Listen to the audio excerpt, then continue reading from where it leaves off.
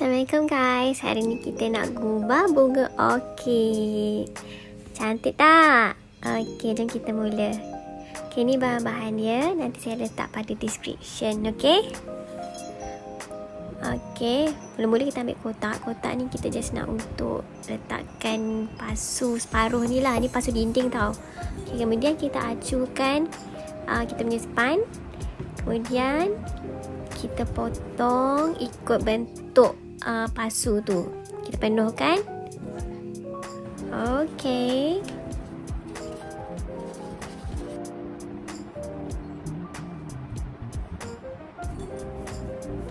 Okey, untuk kita tampal lumut pada span, kita gunakan white glue ni. Uh, dia jual dekat stationery A, susah pula nak keluar gam ni. Hmm. Ni lambat ha, kita buka je lah ha, memudahkan kita ha, kita buat dia. Okay, kita bubuh lah sebanyak mana kita nak biar tutup semua bahagian span tu. Supaya dia rata kita gunakan ruler. Apa-apa je lah. Ha, asalkan boleh meratakan. Kalau nak guna jari boleh guna jari. Okay, so kita ambil lah lumut. Kita penuhkan kawasan yang kita ragam tadi. Ha.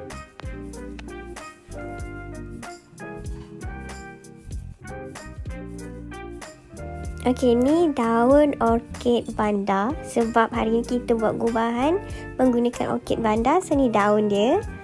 Okey, saya pilih yang jenis besar. Kalau dapat yang kecil pun okey juga. Sesuaikan dengan bunga. Kalau bunga besar, kita gunalah daun besar.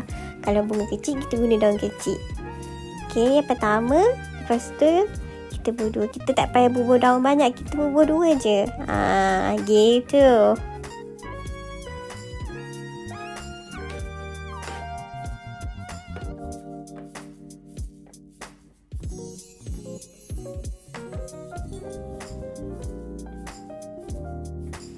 Okey, daun dah siap letak. Kita letak pula bunga dia. Ha, yang pertama tu saya tak potong batang dia. Okey, yang kedua ni dah siap potong. Saya potong dalam setengah jengkal je. Daripada batang bawah. Ha, ni pun sama. Sama saiz dengan yang tepi tu. Ha, nampak tak? Dia ada orang kata rhythm. Okey, untuk bahagian rumput-rumput ataupun lumut tu kita gunakan batu-batu yang berlumut ni. Kita ambil skewer ataupun lidi sate.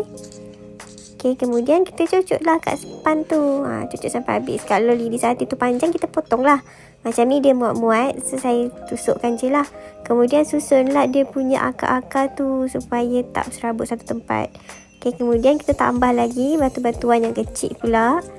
Supaya dia nampak penuh lah kat kawasan bawah tu. Jangan terlampau banyak. So, ini kita nak penuhkan lagi. Ha, dekat orchid mesti ada paku pakis kan biasa kita nampak. Ha, so kita gunakan paku pakis untuk memenuhi ruang kawasan yang ada lumut dan batu-batu tu.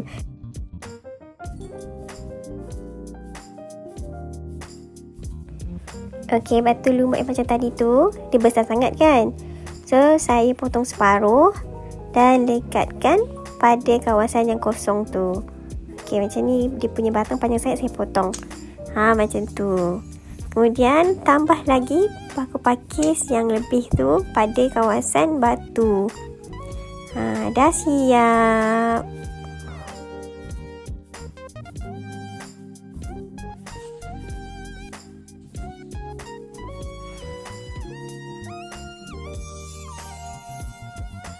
Okey untuk akar tu saya selit-selitkan dekat kawasan besi-besi yang ada dekat bahagian sabuk kelapa tu. Ha.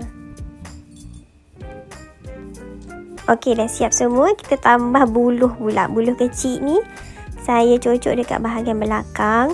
Okey sebab apa kita bubuh buluh ni supaya kita punya bunga tak bergerak masa kena angin. So nanti kita ambil dawai, dawai bunga, kemudian kita uh, inilah kita pintal pada besi dan pada buluh tu supaya bunga ni tak ke kiri ke kanan bila kena angin kan. Ha.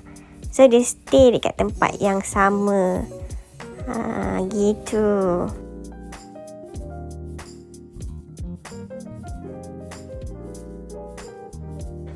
Okey, dah siap.